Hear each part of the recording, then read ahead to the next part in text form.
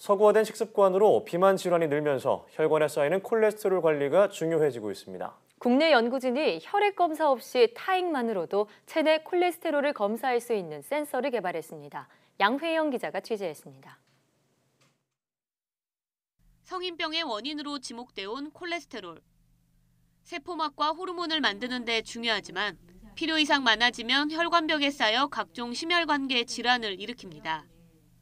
이 때문에 적정 수준의 콜레스테롤 수치를 유지하는 것이 중요한데 현재는 병원에서 피를 뽑아 검사해야만 콜레스테롤 수치를 알 수 있습니다.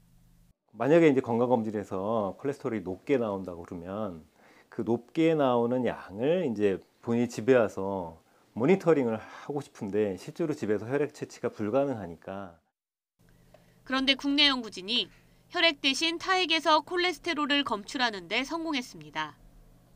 침 속 콜레스테롤은 혈중 농도의 1000분의 1 수준입니다. 극미량의 콜레스테롤을 검출하기 위해 연구진은 백금 나노 구조로 표면적을 높인 고감도 센서를 만들었습니다.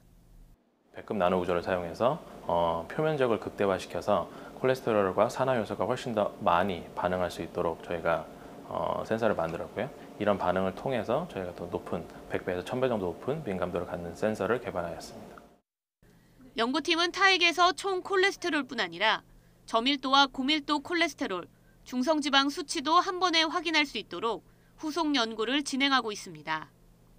또 이번 기술을 응용하면 땀이나 눈물에서 각종 호르몬과 포도당 수치도 측정할 수 있게 돼 혈액 검사를 상당 부분 대체할 수 있을 것으로 전망했습니다.